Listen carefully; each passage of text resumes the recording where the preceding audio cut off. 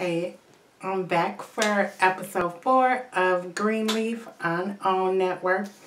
And yes, it does come on Wednesday nights at 10 p.m. So check it out. So this episode, it opens up with um, the pastor or the bishop finding out that because they didn't make it to the dinner with the senator, um, they are being audited. The church is being audited and um, someone from the mayor's office is coming to the church and they're um, asking the bishop to, since he has um, um, Officer Nelson is a member of his church, to support Officer Nelson and to support the other officers in the police or in the city of the um, in the city of Memphis in the police department and the mayor basically is asking him to do that. And I think it's called something, um, something in blue or something like that. I can't remember. I have to look it up here on my phone. But anyway, so he wants them to stand behind the police officers and Officer Nelson and take a stance because the other mega church in the city um, with Bishop Skanks, where did they get that name from? Anyway, he is backing the mother of the killed child or teenager that um, was murdered, gunned down by Officer Nelson and the police department. And um, the bishop is basically like, this is really like politics. You know, he tells the man, um, the lady wasn't even a member of the church. Um, she joined the church. She joined Bishop Skank's church um, after, you know, her child was killed, they went over there, you know, and basically, um, you know, basically, you know, told her, you know, you know, we're so sorry, blah, blah, blah, blah, you know, we're, we'll, you know, back you and everything like that. But, you know, I don't think nothing is wrong with doing that um, to a victim and going to their house or whatever. What are you doing? Sit down. So, anyway, um, so but the part of, you know, I think it was just like a, just type of playing chess. They're like doing chess moves. So because this church did this with the mother, they're basically telling him, you know, come over here and back the police officer up. Because you basically haven't taken a stance. You're just in the middle. And you haven't said whether it's this way or whether it's that way. Or how do you feel? So you need to let us know if it's black or white. So um, he says, and the gentleman from the mayor's office says something to the fact that we know that there's a property over here next to the church and the property that you own now that um, you were previously denied by the city, you know, to build a swimming pool and community center. You know, we could possibly you know, hook you up. We could possibly help you out with that. And I think the bishop also mentioned something about, um, you know, we got Senator Banks or whoever it is that's trying to audit me and blah, blah, this. Can you get him off my back? I don't have time for all this riffraff with him. So he was like, we can handle him, the senator, and we can hook you up with your swimming pool and community center. So he's like, yeah, yeah, yeah, okay. And once he heard the man say that, all I could think of um, was, I'm a hustler, baby. I was just like, Bishop, come on now. Stand for something that's right. Because I was just like, once the man mentioned that, I was just like, he was just too, he was just too happy. Anyway, so he calls Gigi and tell her, you know, Gigi, tell, you know, talk, um, get in touch with that officer and, you know, tell him I want to meet with him. And see if you can meet with him today. She was like, what, Daddy? What? You sure? Yeah, yeah. So they meet and they um, have a conversation and things like that. And so he asked, you know, Officer Nelson, you know, um, you know, what's, you know, what's, you know, what's the tea? Basically, what happened? And so, you know, Officer Nelson tells him, you know, I really can't say. My lawyer tells me I can't say anything to you. And everybody knows that there's um, confidentiality um, with your lawyer and things like that. And there are um, loopholes when it comes to attorney-client privilege and when it comes to your priest or pastor. I forgot what the legal term is or the actual term is called. But um, you can you can confess or say whatever to um, a clergy, a member of the clergy, which is supposedly his pastor and bishop, and he can't relay that in a court law. So he tells, he still tells the bishop, you know, I can't say anything and this and the other, but um, it was one of the worst days in my life. He said something to the effect of, to the, to that effect, and it was even worse for the young man that, you know, passed away. And so I was like, okay, you know, that kind of make, I mean, you know, it's like, why you can't just tell what happened? But then, you know, like when he tells that and he's like, you know, it was worse for the young man and blah, blah, this or whatever, you kind of like, you like lukewarm. You know, he puts you in the middle. Like, did he do it purposely? Or, you know, is he just trying to save face? So, I don't know. Anyway, so, um, anyway, I'm just going, jumping all off or whatever. But, um, so, so the bishop, you know, he kind of, he's kind of okay with his story that Officer Nelson tells or whatever. And then, um, here the officer Nelson, um, you know, they shake hands and things like that and they leave and then he tells Grace, you know, nice meeting you too, like it was a brand new. But you know when you anyway. So the daddy peeps Bishop, he peeps the fact that y'all know y'all met before. I know y'all been talking or whatever. So um you know, um, he goes out and the daughter is there with the dad and then she ends up in the chapel with um, Officer Nelson and then um, Noah comes in because he finds some information out and that's a whole nother story. But um, Noah comes in and um, he sees her and Officer Nelson in the chapel. And so he stops at the back of the chapel and he, you know, kind of like walks in, but walks, you know, peeps the scene. And then he like, oh, what's going on here? And then he walks out. And, um, and she's just there talking to him and he's asking her, you know, have you ever really done anything this horrific and this bad and blah, blah, this? And she's like, yeah, I have. I've done, you know, some things this bad or whatever. And so, um, you know, they chit-chatting and stuff like that. So I'm going to jump around and leave that story alone for a minute and go on to um, this other story that Noah was trying to tell her about. In the meanwhile, you know, Grace is still doing her Angela Lansbury thing, you know, her Inspector Gadget thing. Um, she investigating what's going on with her sister, Faith, that um, passed away and what was really going on. And um, that's what Noah was trying to tell her that, you know, somebody was circling around and this, that, and other. You know, she was asking Noah, can you check in to my uncle around this time and blah, blah, blah. So she tells him about the girl and all the suspicion and what the girl had told her about these specific dates when she said the uncle had molested the little girl. So he goes to find out and that's when he was going to go into the chapel to tell her about it. But he ends up telling her anyway. And um, he says, you know, we, we checked the video and you know, he was here at this day, but he had every right to be here at this day because he works here. And he had good reason to be here because he was doing blah, blah, blah, whatever. And um, there was, he was in the car, but I didn't know who was in the car with him. Um, what else did he say? Oh, but but also there's been this car that's been circling the premises or whatever the front of the gate, but they don't ever do anything. So I think the second or third time they come by, they drop this flash drive or whatever.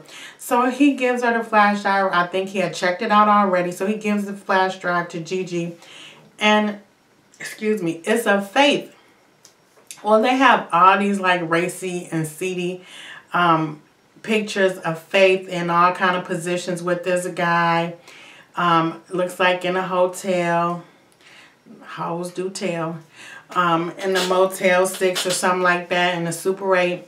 And, you know, she's doing all these poses. She's not having sex, but they're like, um, she's posing in like these different sexual positions. And it could be like, it doesn't look like, it looks like they have a camera set up or or somebody is in another room maybe taking a picture of them but it looks like it's, it's a camera setup and they're taking pictures um so yeah so they find this and then um I think it was a note or something like that with this so she calls the guy and the guy like yeah bitch um give me five thousand dollars and or I'm going to show these pictures to everybody, whatever. Girl,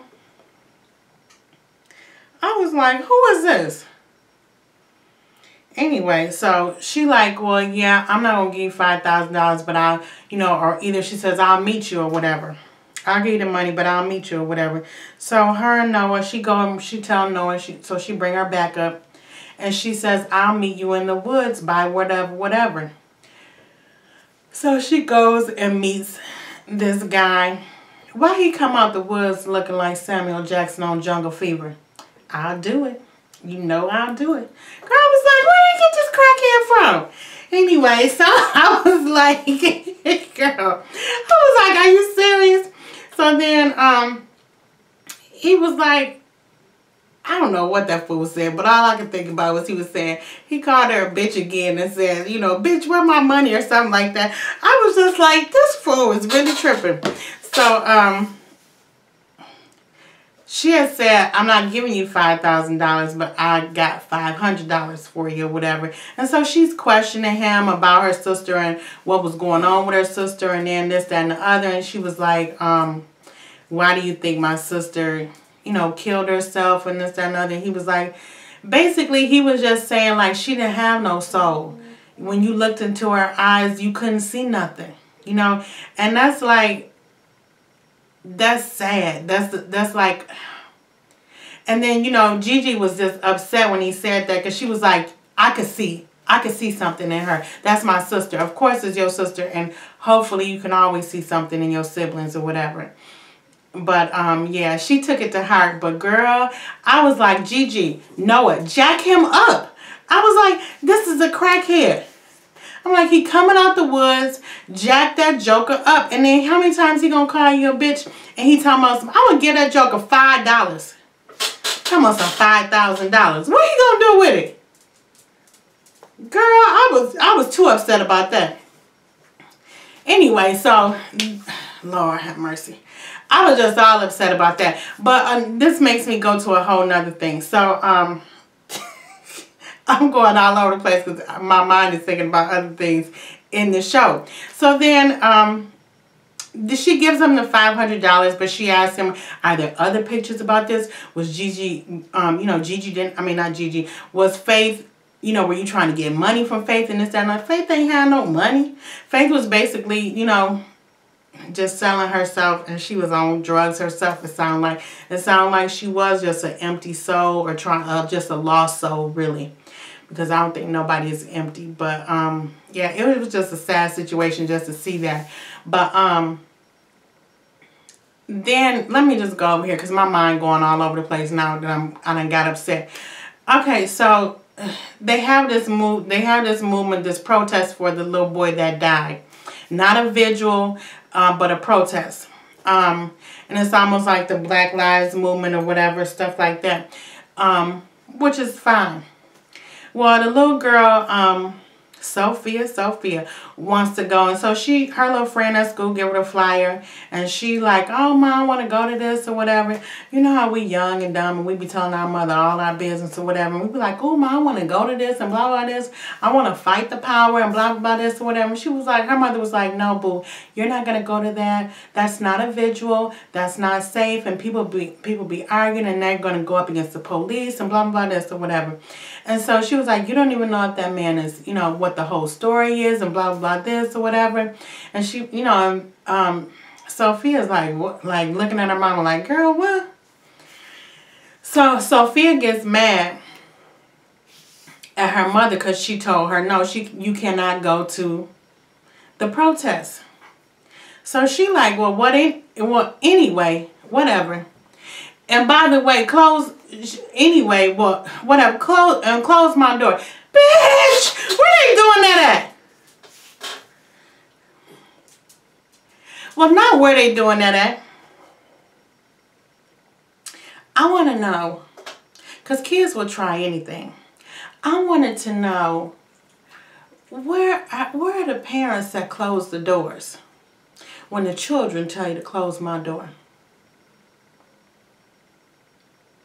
Because Gigi done a... I just said Gigi have to be adopted. She cannot be Lady Mae's daughter. Okay? She cannot be Lady, not Lady Mae. Y'all seen Lady Mae on the first one, two, three episodes? Did you check? Did you check Lady Mae? Gigi is not Lady Mae's biological daughter. Because, honey, I know Lady Mae would have came all up in through here and I would have took the hinges off that door and said, try it on me, boo. Try me. You don't, you don't have no door up in this house. Girl, I was like, close what door? Girl. You go near, you go on that street and I'm going to beat you down. Anyway, okay.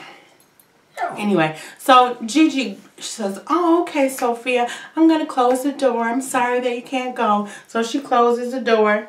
And then, um, you know, of course, Gigi and Zora, they get together because Zora um, tells Gigi, she give her that good old Bible scripture and she tells her, honey, you better bash mister and think about heaven later. That ain't what she said, but I'm just saying, she told her, you can ask for forgiveness later.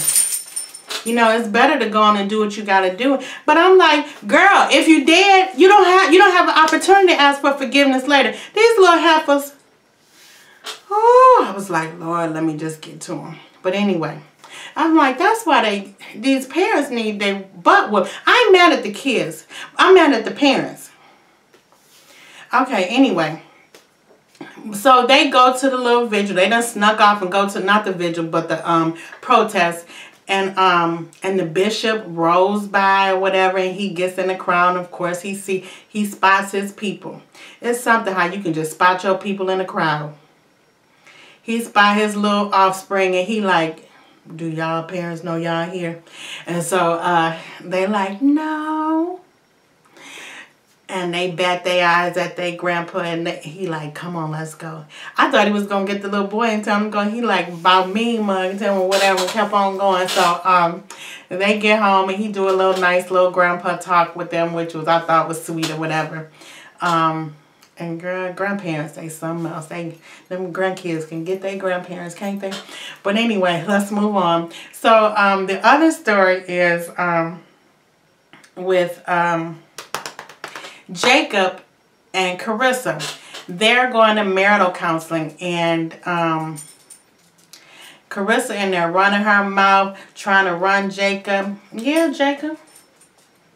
Yeah, Jacob cheated. Yeah, Jacob do this, Jacob do that, blah, blah, blah, this or whatever, blah, blah, blah, this or whatever. After the two set, after each session, you see Jacob up in the, um, up in the arms of his side piece. He needs some other, some other type of therapy, girl. So what they doing this at? Jacob can't talk in therapy. But he going to do some body language talking. I can tell by the language. Yeah, that's what he doing. But anyway, um, yeah. So he goes into the arms of his um side piece and he's telling his side piece after the second time, I think. And he's like, um, you know, like basically he's saying he feel like a piece of meat and all this other stuff. And he was like, you know, you know, I could if I could leave her, I would and blah, blah, blah this and I could be with you. And so she tells him the side piece is saying, you know, I'm just here, I'm just having a good time. You know, I'm just here to have fun, boo, because it is what it is. I know you're not leaving your wife, so it is what it is. So he gets offended with it. Be an honest hoe. Take it. Have some thick skin, Jacob. What did you want her to say? Oh, Jacob, leave Kerissa. Ain't no... Anyway, Jacob, either you want you to have a hoe that you got in check or either you want a hoe that's buck wild and just trying to be the first lady, okay? I don't understand that. Great. Express your feelings. That's great. But be that way across the board, okay? I don't have a problem with that. But don't get mad when the side piece telling you, yeah, I see you as a piece of meat, boo. Or I'm just trying to keep my emotions in check, boo. So we're just playing here.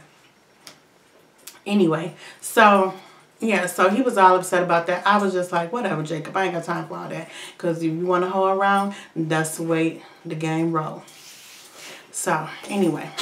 So, but anyway, so he tells, so Kerissa tells him, well, we don't even got to go to, uh, we don't even have to go to, um, counseling anymore. He like, nah, we gonna go. We gonna keep going. Cause I, I, I think Jacob really liked the fact that somebody is controlling Kerissa. Outside of himself because he he ain't got enough balls to control Kerissa. Well, I think he do, but he just don't do it right. He just ain't stepping up to the plate to do it. And maybe he just don't want to do it. I don't know. But um yeah. So anyway, so that is the fourth episode. Um, stay tuned to the fifth episode, but it's good. I think I'm missing something, so forgive me because I'm all over the place with because it's like three different stories or four different stories. So I have to throw the kids in there and they stuff. But let's see. I got the church. I got Jacob and his wife, and then I got the faith story and with the uncle and everything. All right. Until next time. Hopefully I'll see you soon. Be blessed. Bye.